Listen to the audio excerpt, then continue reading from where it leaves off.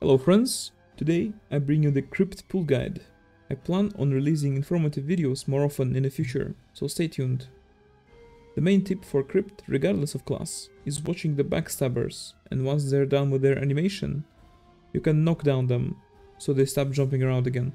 For the first pull, we're body pulling the first three mobs and taking them into the pack on the left, placing red orb like so. Nothing really specific here, other than focusing on back attacks once you've put down the red orb. Once you've killed most of the mobs, you can move on to the next pull. If you have some high HP backstabbers left, it's usually not worth it to finish them off, versus going straight into the next pull, even if they reset. For the second one, we will have a double pull, the small pack with the elite bear and the big one to the left.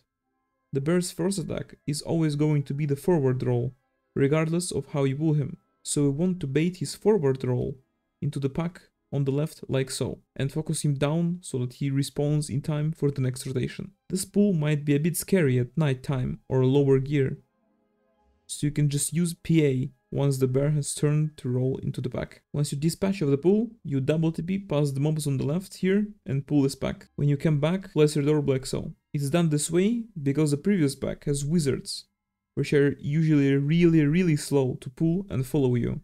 So you have to wait a long time for them to come if you do this the other way around. Nothing interesting in this pull. Watch your back for backstabbers and just finish it off. Next pull is also pretty straightforward. Pull this smaller pack into the next big one and put a red orb anywhere. Position doesn't really matter here, just make sure you have access to back attacks. Best place for red orb would be to pull it from the side you came from, so that when the pulled mobs come, they are all stacked nicely.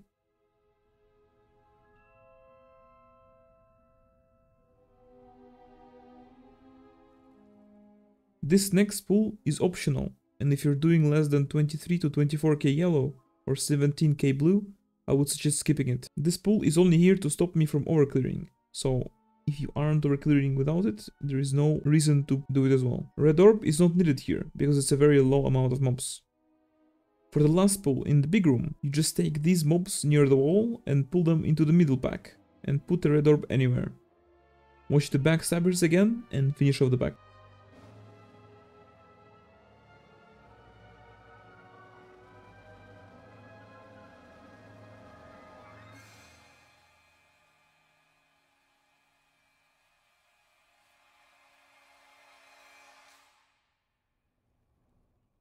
The small room pulls are pretty straightforward too. We body pull the closed left pack into the far left and put the red orb like so.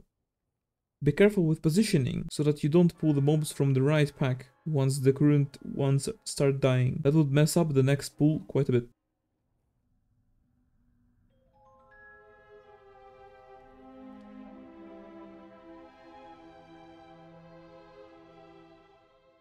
Once you're mostly done with the pull, you can pull this back. It can be either done with a spell that doesn't CC mobs, or just body pulling. This pull is also pretty straightforward. Finish it off, and to the start we go. Anyways, that's it for now. Good luck with your devils, and see you in the next one.